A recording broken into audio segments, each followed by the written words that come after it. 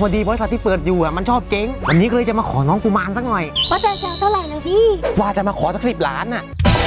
ประธานครับประธานคะประธานครับประธานคะมีอะไรเลยขาหัวกวักโวกวากเออนั่นแหละโวกวากโวยวายมาเชียว ประธานก็หน้าบ้านปากซอยบริษัทเราเนี่ยเขาว่ามีร่างทรงกุมารทองศักดิ์สิทธิ์มาก ขออะไรก็ได้แล้วยังไงจะยังไงล่ะครับประธานก็ไปขอสิ บริษัทกำลังจะเจ๊งเจ๊งอะนั่นแหละเจ๊งมาเวทีเพี้ยนอีกแล้วอะไปะขอไปดู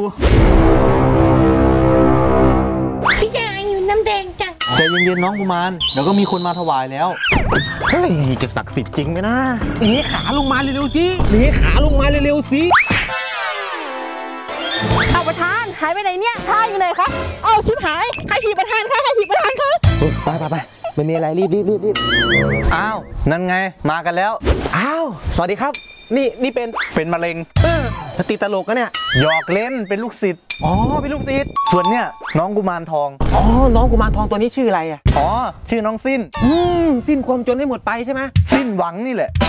เลขากลับเถอะชื่อก็ไม่น่าขอละ อย่าลบหลู่นะ น้องกุมารสิ้นหวังดังมากนะ ดังแค่ไหนกันเชียว ไปตลาดก็มีคนทักอะ เฮ้ยนี่แสดงว่าดังมากกันนี่ มาแต่เขาทักว่าไงอะ ปลาดุกไหมคะปลาดุกไหมคะบ้าไอ้บ้านั่นมันแม่ค้าเขาก็ทักวิทย์ปกติสิเลขากลับเถอะจะด่วนกลับไปไหนเฮ้ยกุมารเสียงน่ารักซะด้วย มาเข้าบ้านกันสิพี่พี่เอาน้ำแดงกินด้วยอ่าน้องกุมารนี่น้ำแดงน้ำแดง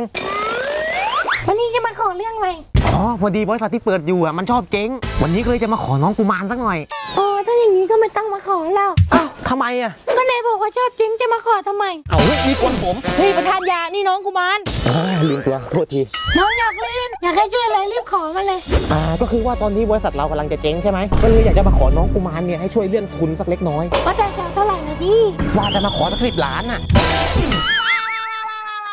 สิบล้านใช่ครับใช่ครับ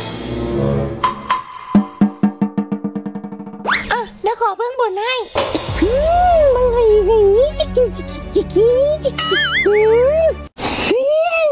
จิกจิกจิกอีกสามวันจะมีลาบการโตเข้ามานะบริษัทเราจะรอดแล้ว เวลา3วันต่อมา ณตำหนักน้องกุมารสิ้นหวังอืมไอ้กุมารสิ้นหวังอยู่ไหนนะอ้าวพี่ประธานกับเลขามาแล้วใส่ชุดอะไรมาของพี่เนี่ยโอ้ยเด็กนี่ไหนมึงบอกว่าจะมีลาบก้อนโตเข้ามาไง อ้าวน้องพูดผิดตรงไหนอะแล้วที่พี่ถือมานะมาอะไรลาบโอ้อย่าบอกนะที่เองบอกว่าลาบก้อนโตนี่คืออันนี้ ใช่แล้วใช่แล้วเหรอ